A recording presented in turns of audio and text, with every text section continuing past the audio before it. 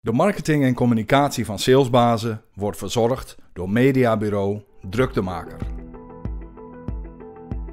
Voor het eerst eigenlijk dat het verhaal over hoe wij bij DPG uh, de sales aansturen naar buiten brengen. Ja. Voor een deel dan, want uh, we gaan niet alles geheime, alle geheime prijs geven. Nou, toen nou. Klein stukje misschien, maar... Uh, Welkom bij Salesbazen, de podcast over sales en sales management. In 2020 begonnen we met het opnemen van gesprekken met onze klanten en relaties. Tegenwoordig interviewen we mensen uit de top van de commerciële wereld in Nederland. Er ontstaat een community van sales professionals die elkaar helpen om beter te worden in dit fantastische vak. We interviewen wekelijks nieuwe gasten, zodat ook jij elke week een stukje dichter bij de waarheid komt. Ken jij een salesbaas of ben je er zelf een? Stuur dan een e-mail naar redactie@salesbazen.com. Mijn naam is Jozef Stevens.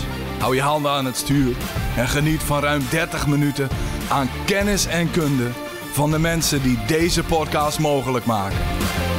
Salesbazen.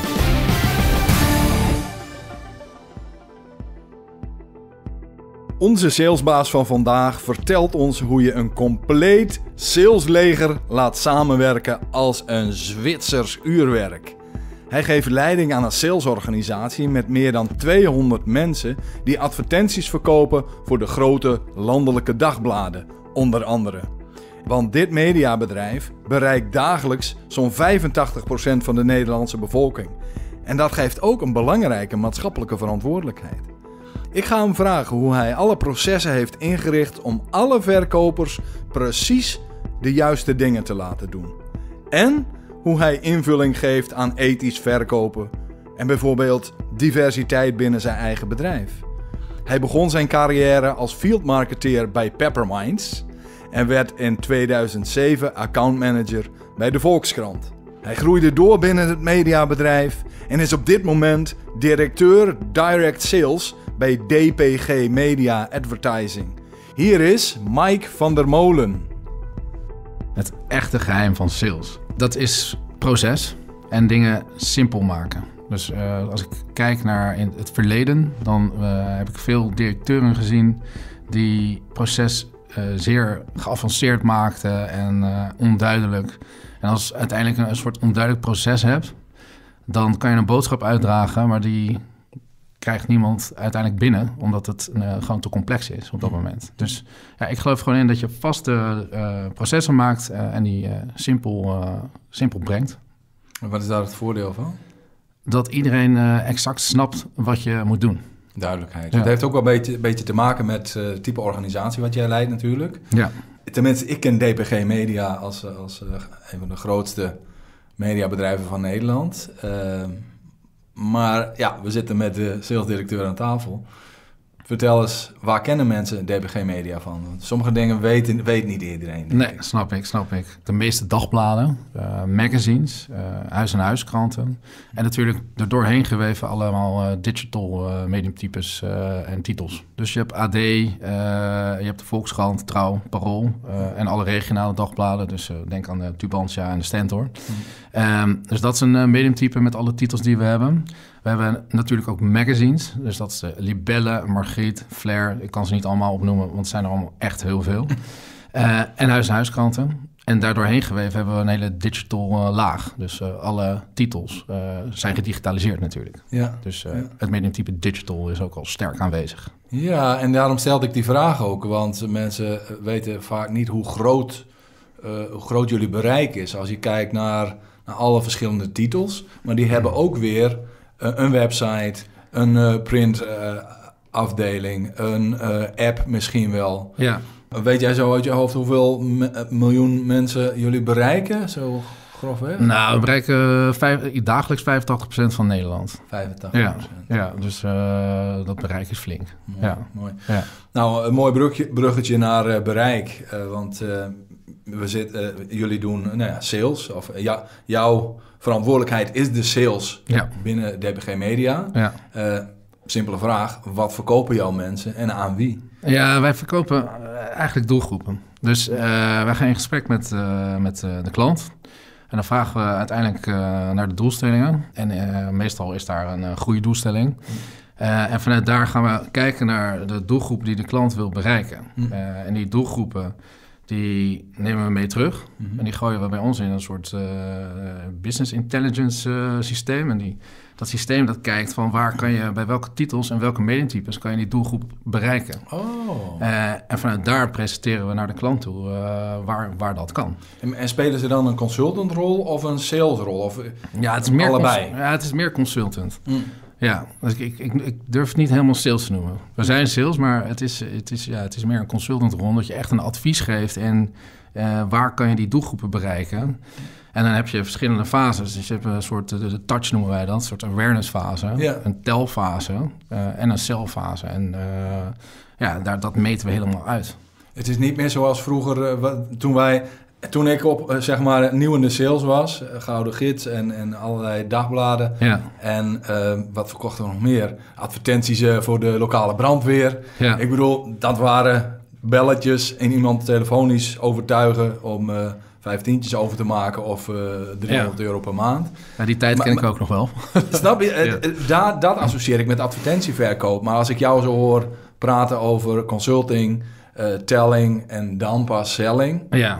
Dat is, dat, dat is misschien wel wat veranderd. Ja, dat is heel erg veranderd. Dus ik heb zelf vroeger uh, ook op de binnendienst gezeten. Uh, dus ik, ik ken het, zeg maar, een soort single-titel verkoop. Ja. Dus dan ben je inderdaad wat platter advertenties aan het verkopen. Ja, dan ga je meer naar sales. Dus dan ben je eigenlijk meer je eigen... Ja, je eigen gewin aan het doorduwen. En daar, daar doen we niet aan. Dus mm. wij laten eigenlijk alle eigen ambities die er zijn, laten we vallen. Uh, en we zetten de klant echt centraal. En we zullen, uh, we proberen in ieder geval ook uh, de budgetten en de doelgroepen die ik net benoem, ja. zo efficiënt mogelijk uit te zetten. Ja. En hoe efficiënter wij dat doen, hoe duurzamer de relatie is. En daar, en daar gaat het uiteindelijk om. Voor ons, voor ons is, een, is, een, is een samenwerking voor een jaar, daar, daar hebben we niks aan. Oh. Ik, ik besef me nu welke maatschappelijke verantwoordelijkheid ook een de DPG uiteindelijk heeft. Dus ik snap wel een beetje dat dat niet het imago mag hebben van snel geld verdienen. Uh, jullie zijn eigenlijk een instituut binnen Nederland. Mm, ja, ja, nou ja, we hebben sowieso natuurlijk uh, een grote verantwoordelijkheid qua nieuwswaarde. Ja. Maar dat DNA zit wel in het bedrijf inderdaad. Dus uh, gelukkig, want ik voel me daar zelf ook het best thuis bij. Bij authenticiteit en oprechtheid. Dus vanuit daar werken we ook zo naar onze klanten. ja. Je hebt als grote club, als marktleider of als nou ja, ook een journalistiek bedrijf natuurlijk echt wel met ethische waarden te maken. Ja, ja. zeker. Nou, voordat we helemaal uh, afdwalen, uh, wil ik jou graag vragen om, om, een beschrijving te geven van de salesorganisatie. hoe, hoe, ziet dat, hoe ziet die de organisatie eruit? We hebben een vrij groot salesinstrument. dus we hebben een grote regionale salesafdeling. Mm. Uh, en je moet je voorstellen, dus in iedere grote stad in Nederland hebben wij een, uh, een redactie zitten. Uh, maar naast die redactie hebben we dan ook een, een, een sales team. Dus in Rotterdam, Amsterdam, Enschede, Utrecht, nou, ik kan ze allemaal opnoemen. dus dat is de regionale sales. Die bedienen echt de lokale markt. En daarboven zit een, een, een provinciaal sales team. En die bedienen de markt, of eigenlijk de klanten, die vestiging hebben in meerdere provincies. En daarboven weer een uh, nationaal sales team. En die, die doen alle nationale klanten die dus ook nationale uh, campagnes voeren. En daarboven zit dan, dat noemen we dan de complexe klanten. Uh, dat, dat, noemen wij intern topbranche, maar het is een soort key account team. Ja. En die doen de klanten die waar zeg maar 20 of 30 dochter relaties onder zitten. Hmm. Of accounts noemen wij het dan. Dus daar zeggen we, ja, dat is een complexere klant. En daar, daar is weer een zwaarder kaliber accountmanager voor nodig. En die, uh, die doen dat. En daaromheen zit dan nog een agency team. Dus we hebben natuurlijk ook heel veel agencies in Nederland. Ja. En daar hebben we er een apart team voor. En de agencies die verkopen dan zijn eigenlijk tussenpersonen? Ja, ja, maar die geeft dus ook weer eh, advies richting de klant over oh, hoe je uh, op het beste, de beste manier, welke mediumtypes je de doelgroep kan bereiken. Hmm. Dus dat is het hele salesapparaat en dat bestaat ongeveer uit, uh, denk ik, 200 mensen. En daaromheen hebben we dan een, een eigenlijk een specialistenlaag. Dus wij zeggen, voor iedere titel hebben we een specialist. en die specialist die zorgt ervoor dat de kennis op de titel geborgd blijft. Dat klinkt een beetje complex, valt Ja. mee. Maar de accountmanager is zeg maar de centrale speel naar de klant. Ja. Eh, die is ook klantverantwoordelijk. Maar op, de- op het moment dat je op, eh, een, een- bijvoorbeeld een branded content campagne wil voeren eh, in de Margriet, dan eh, betrekken wij een specialist van Margriet. En die zorgt ervoor dat het intern het proces optimaal verloopt, maar ook dat de kwaliteit van de brand content eh, op het hoogste niveau is. Nou, daar heeft de accountmanager eigenlijk eh, niet de tijd voor, want die heeft een andere rol. Dus wij hebben heel veel specialisten eh, binnen DPG. En dat team stuurt eh, Barbara Hazenberg aan. Mhm. En met haar samen stuur ik eh, eh, DPG Advertising aan. Oké, Ja. dus, dus eh, Barbara Hazenberg, dat is jouw ja, co-piloot. Ja, eh, Maar dan meer aan de, aan de inhoudelijke kant, kan ik het zo zeggen? Ja, ja, kijk, we hebben allebei een soort van hetzelfde profiel. Dus we zijn allebei begonnen ooit bij DPG Media. Heette toen natuurlijk nog anders, PCM. eh, op de binnendienst. Eh, en we zijn allebei, eh, hebben dezelfde stappen gemaakt. eh, en op dit moment op dit niveau gekomen. Dus ik denk dat we hetzelfde profiel hebben. Alleen omdat we dat eigenlijk al 15 jaar naast elkaar doen, hoeven wij niet met elkaar te communiceren. Hmm. Dus we hebben een vast proces. Ik denk, daar komen we zo meteen vast op terug. Ja. Ehm, en wij kunnen onafhankelijk van, eh, zonder eh, met elkaar te communiceren, dezelfde besluiten nemen. En dat, eh, dat is heel fijn. En, en zij, zij richt zich inderdaad op specialisten. Ja. En ik richt me met name op de werking van het salesinstrument. Wat Ja. fijn om te horen. Ja, dat is tof. Ja. Eh, ik- jij vertelde en ik zit naar te luisteren. Ik denk, dat moet vast uniek zijn. Want vaak moet je dingen managen vanuit nou, proces en taakinstructie. Maar als je dan opgroeit in hetzelfde bedrijf, 15 jaar lang... Ja. en dan bijna eh, van elkaar aanvoelen hoe dingen werken... ja. Ja, Ja. Ik, weet, ik, weet, ik weet niet Nou, hoeveel bedrijven dat kunnen zeggen, ook op dit niveau. Nou ja, ik, eh, ik denk dat het uniek is. Maar als ik nu kijk naar eh, hoe wij onze sales teams aansturen, dan zitten daar meestal koppels op. Het is soms Oh. twee mannen, maar in- toevallig is het zo dat op het eh, nationale sales team ook een man en een vrouw zitten. En op het provinciale sales team zit ook weer een man en een vrouw. Oké. Dus die, die combinatie, eh, die lijkt wel goed te werken. Neem maar neurodiversiteit. Nou ja, Daar hebben we het vaak over in de theorie. Maar als je dat zo in de praktijk ervaart, dan kun jij zeggen dus blijkbaar... oh, dat werkt. Ja, zeker. Ja, ik, denk, ik denk dat je eh, in ons geval hebben we echt wel hetzelfde profiel. Maar een man is toch weer een man en een vrouw is weer een vrouw. Mhm. En eh, ik denk dat een man heeft voor een deel eh, mannelijke energie en vrouwelijke energie. En een vrouw heeft dat ook weer. Ja. Maar vaak vult dat elkaar perfect aan. Dus Ja. stel even dat het zo is. Ik eh, kan niet per se helemaal exact zeggen hoe dat bij mij is. Maar stel dat ik 60% mannelijke energie heeft, eh, heb en eh 40% vrouwelijke energie. Dat is meer de sensitieve kant. Ja. En eh, Barbara dat andersom heeft, dan vul je elkaar dus heel goed aan. Ja. Ehm, en daarnaast is het ook fijn als je echt complexe eh, dingen hebt, maar soms ook eh, een complexe presentatie of eh, een boodschap. Ja. dan sta je er met z'n twee voor. Ja. Dat is gewoon, het is gewoon fijner eigenlijk. Ja.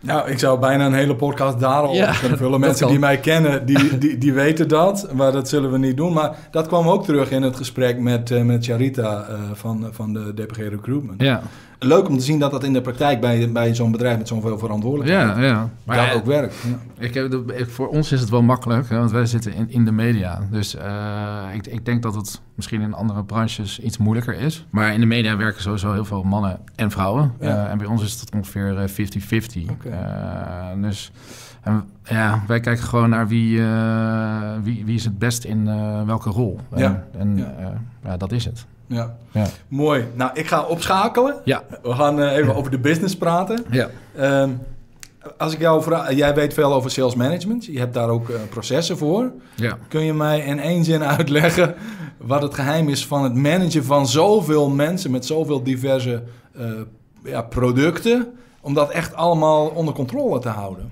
Het zijn drie letters. Dat is R, K en K. En die staan voor richting, kwaliteit en eh, kwantiteit. En dat is eigenlijk het instrument eh, wat we gebruiken om eh, alle teams op dezelfde manier aan te sturen. En daarmee, daarmee ook dezelfde werking richting de klant te krijgen. Dus dat is het geheim. RKK, Wie heeft dat verzonnen? dat heb ik zelf verzonnen. Komt het uit jouw koker? Ja, ja het is die 15 jaar die ik voor DPG werk, is dat, heeft dat zich opgebouwd. Maar nou weet ik dat je wel eens vraagt van, uh, wat heb jij voor tips, zeg je dan? Ja, dit zijn alleen maar tips die ja, uitzenden. Ja, nou, het, het, begint, het, begint erbij dat ik bij mezelf op een gegeven moment achterkwam dat, ook toen ik accountmanager was, dus dan zat ik bij een klant. En uh, stel dat je even geen proces hebt, dan, dan zit je vrij onzeker aan tafel. Omdat je dan denkt van, oké, wat voor vraag ga ik dan stellen? Ja. Dus soms is het leven heel simpel. Dus toen dacht ik, kwam ik terug, dacht ik, oh, ik voel me eigenlijk een beetje onzeker daarover. Dus wat kan ik gaan doen om die onzekerheid weg te halen? Nou, dan heb je dus een proces nodig uh, om daar wat meer rust uh, in te bieden, maar ook om die klant op de juiste manier uh, te faciliteren. Dus daar, daar komt een proces uit. En dan krijg je dus in dit geval een sales funnel met een, een, vraag, een vaste vraagstelling. Maar daardoor kan je veel beter verdiepen. en wat ik op een gegeven moment ontdekte, zeker in het salesmanagement stuk, is je kan heel veel dingen leren in een half jaar. Um, uh, en ja, je hebt geleerd. En als je dat dan een drie maandje, vier maandje doe je even een bepaald ding niet, dan is die kennis uh, zo vergaan. Ja. Dus ik ben op een gegeven moment een soort dagboek gaan bijhouden. En dat dagboek, uh, dat is gewoon letterlijk alles wat je leert, gewoon voor jezelf opschrijven. Want je weet dat je het gaat vergeten. Uh, en je vergeet heus niet alles, want we zijn allemaal wel echt wel slimme mensen. Ja. Maar zonder dat je het doorhebt, uh, vergeet je zo 50 of 60 procent van alles wat je geleerd hebt. Ja. Dus uh, ja, ik heb op een gegeven moment geleerd om dingen op te schrijven. En daarmee is er een soort salesbijbel ontstaan. En dat is die R, K en K. Mm -hmm. En het zijn drie kleine lettertjes, maar het zijn wel... dagelijks moet je wel 200 dingen doen, wil je dat onder controle houden. Mm. Dus daar, daar heb je processen voor nodig. Wauw, ik weet even niet welke vraag ik nu ga stellen, want ik, krijg ze nu uh, tegelijkertijd binnen. Ja, uh, maar, maar jij zegt van nou, ik heb sowieso het proces, uh, mijn werk of het werk van de mensen in stukjes geknipt. Ja. He, dat ja. is even het, het procesmatige deel, ja. gebaseerd op jouw eigen praktijk en waarschijnlijk later de input van andere mensen. Ja, ook. En heb je ja. een, een playbook van gemaakt of een structuur waar, Ja. waar mensen houvast aan hebben. Kan ik hem zo vast Ja, samenvatten? dat, eh, dat is het inderdaad. Dus en dan is het aan mij om die, die even, noemt dan nu even de salesbijbel, Ja, om die salesbijbel te prediken bij eh, alle salesmanagers. Ja, en ja. eh, te zorgen dat zij dat zelfs systeem implementeren. ja. Ehm, ja. En dan moet ik je eerlijk toegeven dat ik ken salesmensen een beetje inmiddels. Ja, ja. We hebben ook een WhatsApp-groep eh, waarin zij ook hun, hun zorgen uiten en hun, eh, hun hart luchten. Eh, maar ik kan me best voorstellen dat salesmensen dat, dat hele, ja, dat alle stapjes zijn voorgeschreven, dat wat vervelend vinden. Maar jij brengt het eigenlijk als een stukje stabiliteit en dat het je helpt. Snap je die tegenstelling? Ja, ja, zeker. zeker. Kijk, heel veel dingen in sales zijn niet leuk.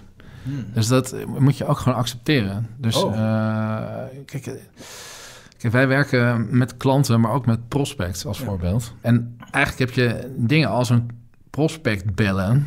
Hmm. Ja, dan moet je gewoon naar de basis van de mens gaan. Eh, de meeste mensen die vinden dat gewoon helemaal niet leuk. Ja, ik geef dat ook toe, hè. dat is een soort eh, drempel die je overgaat. Ja, dat, en, en ja, dat is ook, ook wederom, je moet gewoon accepteren dat er altijd een vorm van, eh, je gaat een nieuw iemand eh, bellen, er zit een vorm van onzekerheid in, er zitten allemaal gevoelens eh, die erbij komen. Ja. Eh, dus wij proberen, wij accepteren eigenlijk dat sommige dingen niet leuk zijn in het vak, Ja, maken daar dan wel gelijk een feestje van.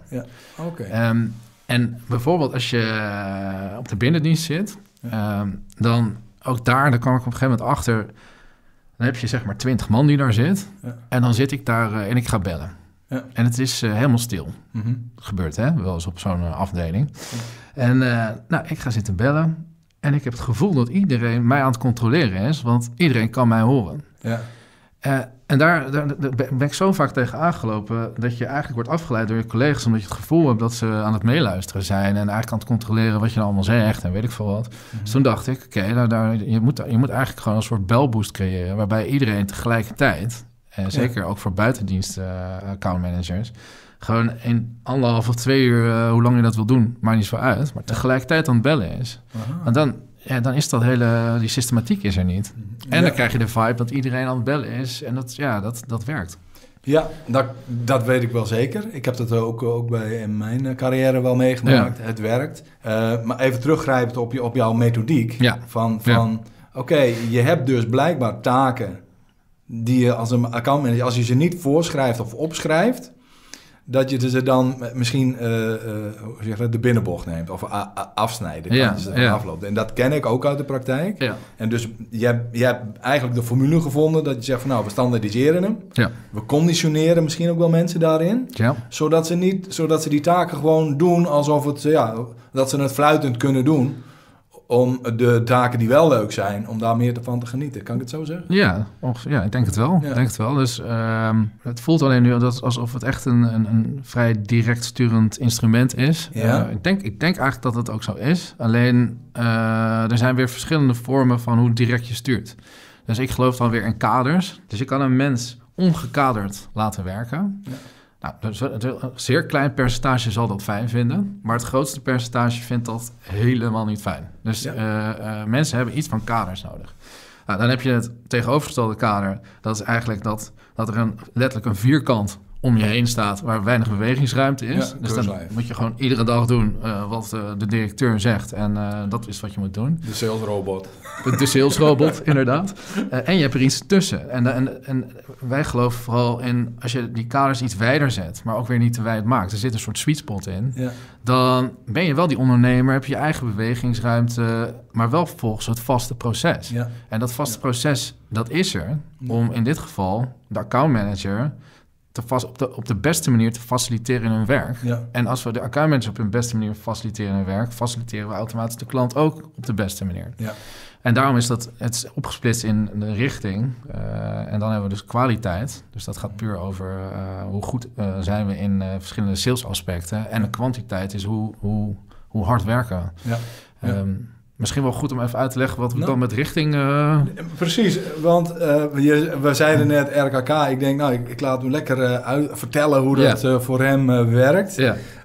maar ik ga je wel de vraag stellen: oké, wat bedoel je dan met richting? Want dat is een soort geheime formule. Je zal niet alles willen verklappen, maar richting, kwaliteit en kwantiteit. Ik denk dat het een soort gouden greep is. Maar ik wil ook wel graag uitleg hebben.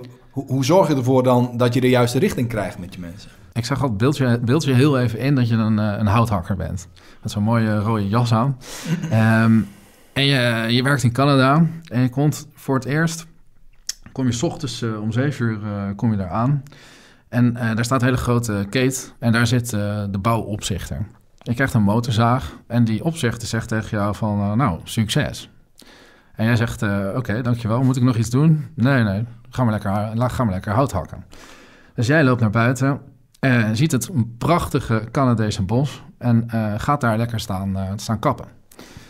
En je hebt echt keihard gewerkt. Dus ik heb die 20 eh, bomen gekapt. Ik heb 20 bomen. En ik zag dat die anderen hebben er ongeveer 10 gekapt, maar ik heb er 20 gekapt.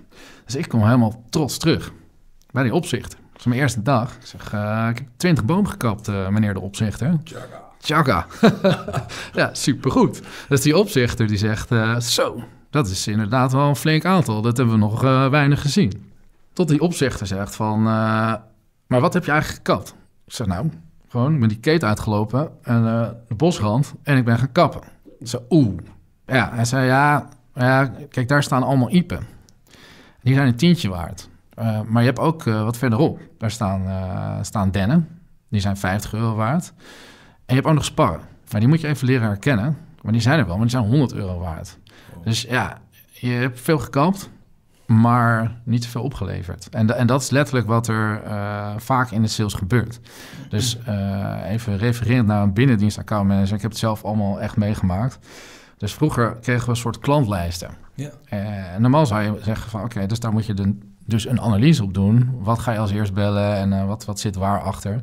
Maar de meeste accountmanagers op de binnendienst, en eh, nogmaals, ik heb dat zelf dus ook een keer meegemaakt en toen kwam ik erachter, dat je bovenaan begint. Dat is eigenlijk hetzelfde principe. Ja. Eh, en wat wij zeggen in Nederland, en dat, dat is echt wel complex, eh, is dat je eigenlijk al die, eh, die sparren, die moet je zien aan te wijzen.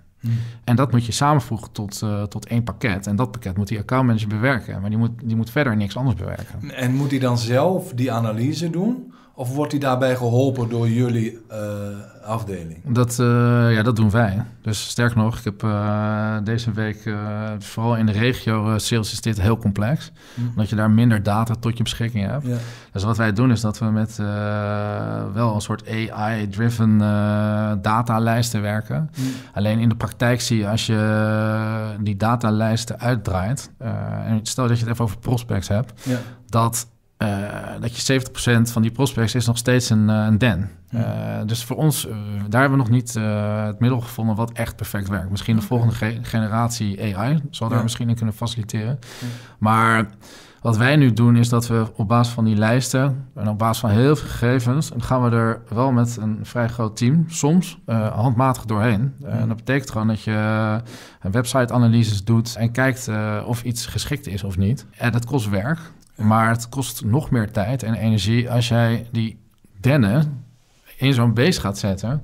Want dan zijn we daar met de auto heen aan het rijden, zitten we daar een uur te praten, gaan we een voorstel maken wat uiteindelijk bijna niks oplevert. Ja, ja. Uh, dus we spenderen daar echt wel veel tijd aan. Ja, en niet alleen de tijd uh, die je verliest of de energie, maar ook de motivatie van je mensen. Exact dat. Want als je een aantal keren bot vangt of een heel klein bedrag vangt, dan ga je een ga je, krijg je de klatter. Ja, dat, dat, dat, dat is echt goed dat je dat zegt. Want dat, dat, is, dat is eigenlijk de kern van, van het verhaal. En dat is dat, dat je moet zorgen dat uh, in dit geval de accountmanager een hoge kans van slagen heeft. Ja. En als je inderdaad iedere dag uh, tegen die muur aanloopt, uh, ten eerste is het vak dan niet leuk. Ja. en dan komt hij weer, dan komt er een vorm van onzekerheid en. en ja, wij proberen mensen in hun kracht te zetten. En vanuit hun kracht daar ja, in hun werk te, te zetten. Maar daarmee ook wel gelukkig te maken eigenlijk. Ja, mooi. Ja. Mooi, dus, dus de richting, dat is uh, de juiste prospects benaderen. Ja. volgens het systeem op de juiste manier. Ja. Daar wordt ze in geholpen. dan komen we bij de tweede letter. En dat is de K. Is dat kwaliteit of kwantiteit? Dat is kwaliteit. Dus, dus de tweede is kwaliteit. Ja, eerste kwaliteit. Heeft, daar, heeft die volgorde nog een ja, betekenis? Ja, het is gewoon letterlijk van je, je kan, je, stel dat je dus de juiste, in dit geval klanten en prospects hebt, en je hebt heel lage kwaliteit, dan kan je erheen gaan, maar dan heb je er niks aan. Ja. Uh, want je, in dit geval, als je bij een klant bent uh, met een lage kwaliteit, dat is niet wat je wil. Ja. Uh, dus wij zeggen, dan krijg je kwaliteit. Ja. dus dat moet je echt wel op een on pace hebben, op een bepaalde level of een lat. Ja. En vanuit daar kan je pas naar een klant. Ja, en, en praat je dan bij kwaliteit over de kwaliteit van je, van je eigen skills, of de kwaliteit van het product, of kwaliteit van de dienstverlening? Uh, eigenlijk alles, uh, maar de basis zit hem nu in de kwaliteit van een persoon. gesprekken. ja, dus uiteindelijk is kwaliteit van een accountmanager. dus hoe, hoe voer je een gesprek? Hmm. Dus hoe zorg je ervoor dat je echt de kern van het probleem bij een klant naar voren haalt? Ja.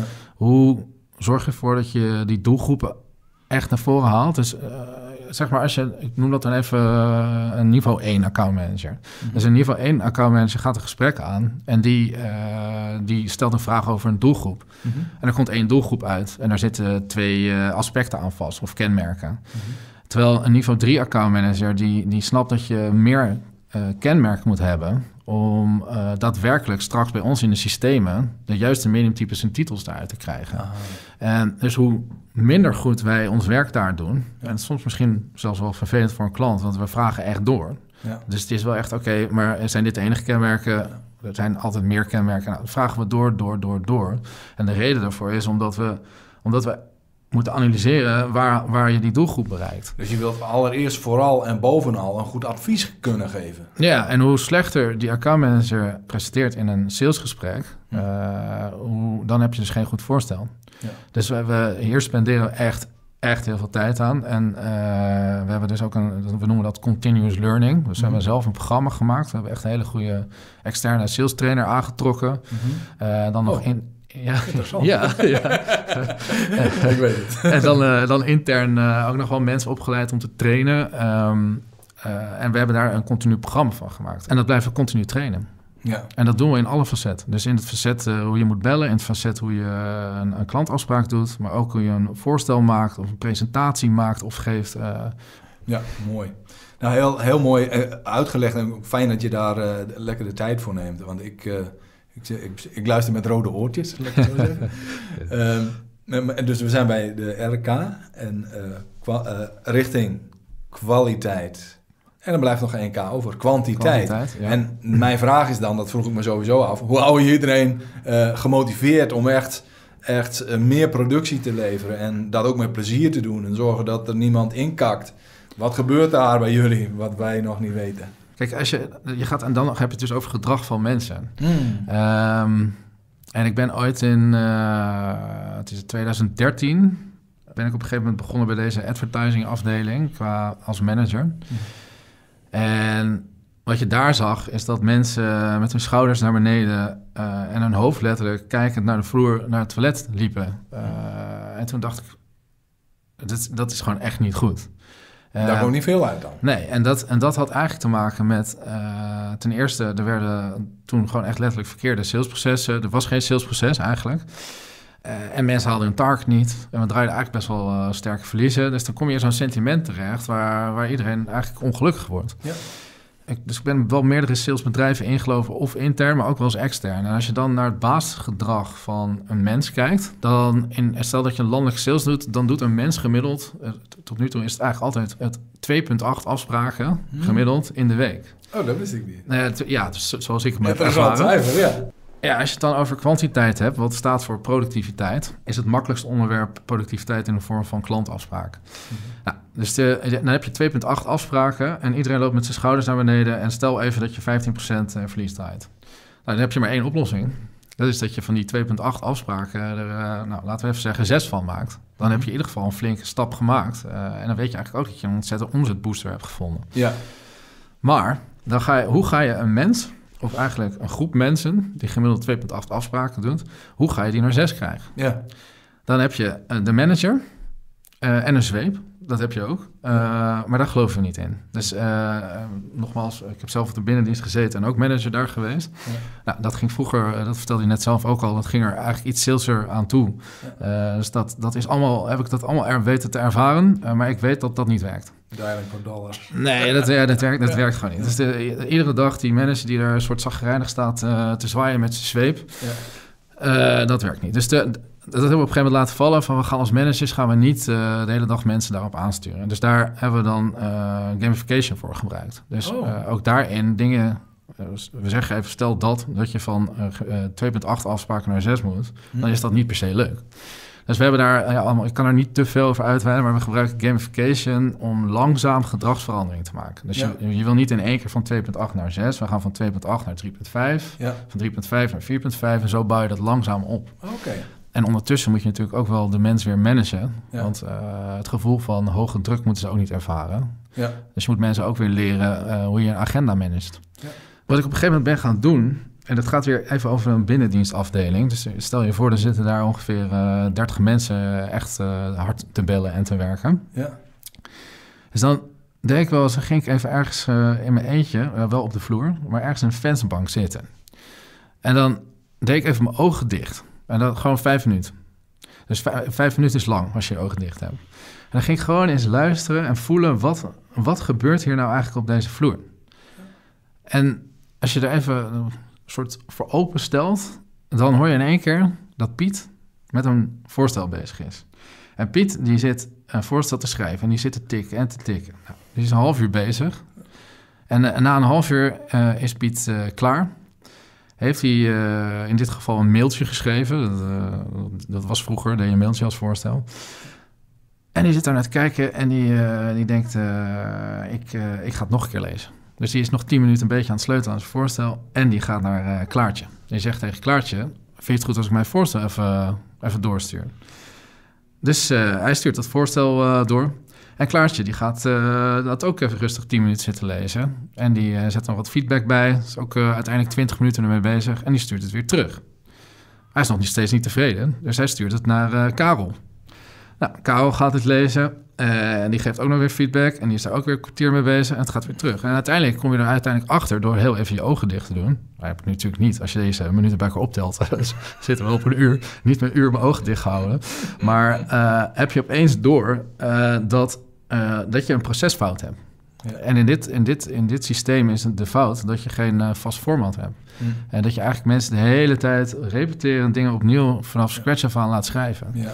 Ja, dus je praat ook nog over een, een, eh, learning organization. Dus, dus Ja, en dat moet je dus... continu, eh, dus het is niet een, een, een, een proces wat zeg maar ooit eh, twee, twee, drie jaar geleden is vastgelegd en iedereen moet zich eraan houden. Maar dat wordt ook steeds dynamisch ontwikkeld. Ja, ja zeker. Is dat niet moeilijk? Is dat niet super ingewikkeld? Het is niet makkelijk, nee. Ja. nee. Dus inderdaad, het ontwikkelt zich door. Maar om het systeem bij iedereen eh, altijd op 100% te houden, dat is, dat is wel mijn uitdaging, ja. Ja, en, en, en maak je dan ook nog gebruik van de feedback van, van de sales managers en de, de directeuren van bepaalde divisies? Of? Ja, ja, zeker. Dus we, we doen echt wel, eh, we noemen dat dan RKK-sessies. RKK-sessies met elkaar en dan eh, ingezoomd op die, die stappen eigenlijk. Ja, ja. Mooi. En wa- wat ligt er nog voor jou in de toekomst? Waar, waar droom jij nog van? Wat zou jij nog echt eh, klaar willen spelen de komende jaren? De wereld verandert steeds. Oké. Eh, dus in, eh, als voorbeeld, we hebben een aantal jaar geleden hebben we Sanoma overgenomen. Nou, dan, dan heb ik wel weer een flinke uitdaging om alle accountmanagers en ook de specialisten met Barbara, om iedereen weer als radartjes in elkaar te laten vallen. Ja. Dus die, die uitdagingen die komen vanzelf op ons af. Ja, dus je, je, je wordt je wel eh, vol. Ja, het is, het is heel dynamisch. En, en daar, dat houdt het ook wel eh, leuk. Want als, het, als, je op een 100% eh, bent, wat, wat ik denk dat überhaupt niet kan, ja. dan zou het saai worden. Ja, Maar voorlopig is dat nog niet zo. oké. Waar word jij nog gelukkig van? Ja, eh, ja ik word gelukkig van eigenlijk het geluk van de ander. Wat ik mooi vind, en dat valt dan terug op die schoudertjes die naar beneden eh, hingen. Ja. En het hoofdje wat voorover hangt. Als ik dan eh, mensen zie lopen die hun schouders naar achter hebben, met voeten stevig op de grond staan, borst vooruit, vertrouwen hebben in zichzelf en hun werk leuk vinden Ja. en daarmee gelukkig zijn, daar word ik gelukkig van. En ja, soms uit dat ook wel eens dat je gewoon een brief van iemand krijgt. Van eh, ik ben echt dankbaar eh, dat dit op deze manier gebeurt of dat jij dit doet. Ja. Eh, ja, daar, daar word ik gelukkig van. Ja, fantastisch. Ja. fantastisch. Mooi. Ik heb ademloos zitten luisteren. Ik weet niet of het zichtbaar was, maar ik kan hiervan genieten. Eh, maar Mooi, echt een mooi. nerd, nerd op dit Ja, soort dat, is, dat, dat, dat weet ik. Dat, Ja. dat, je, je, je hebt wel eens een podcast geluisterd. ja, je hebt passie, je hebt passie daarvoor. Mooi. Ehm, en misschien nog een cadeautje voor jou. Eh, wil je nog iets zeggen eh, tegen je collega's van DPG? Want ja, Ja, ja, ik denk het wel. Ik, ehm, dus ik, ik kom er zo langzamerhand wel achter dat we proberen, wat ik allemaal net zeg, we proberen iedereen echt beter te maken. En, en ik, ik kom er ook wel achter dat dat, eh, dat dat best wel heftig is. Want iedereen wordt best wel hard getraind en moet iedere dag ermee bezig zijn. Eh, en ik wil alleen maar dank uitspreken dat iedereen eh, zich daarvoor openstelt en het ook echt toepast. Ehm, ja, dus dank daarvoor. En, en ook de succes die we samen maken, ja, dat doen we samen. En Ja. ook daar ben ik dankbaar voor. mooi. Ja, Fijn mens ben je. Bedankt voor je, Dankjewel. voor je deelname aan Salesbazen. thanks Jozef. En eh, ja, misschien tot de volgende. Zeker, dankjewel. Ik heb genoten van dit interview, maar ik wil ook graag weten wat jij ervan vindt. En dat kun je me laten weten door een e-mail te sturen naar jozef.stevens.salesbazen.com. En wil je in contact komen met de andere luisteraars van deze podcast? Meld je dan aan bij onze speciale WhatsApp groep door een bericht te sturen naar 06 876 08 311. Trouwens, dat nummer kun je ook vinden op onze website salesbazen.com. In het dagelijks leven geef ik sales training en geef ik advies aan salesorganisaties. Ik ben niet op zoek naar klanten, maar ik ben altijd op zoek naar sales teams met problemen. En alle vrije tijd besteed ik aan het laten groeien van de salesbazen community. Jij kunt me daarbij helpen door deze aflevering door te sturen naar je collega's of te posten op je social media. Laat snel wat van je horen, want wij zijn benieuwd naar jouw verhaal. Maak er een mooie dag van en we spreken elkaar bij de volgende podcast van Salesbazen.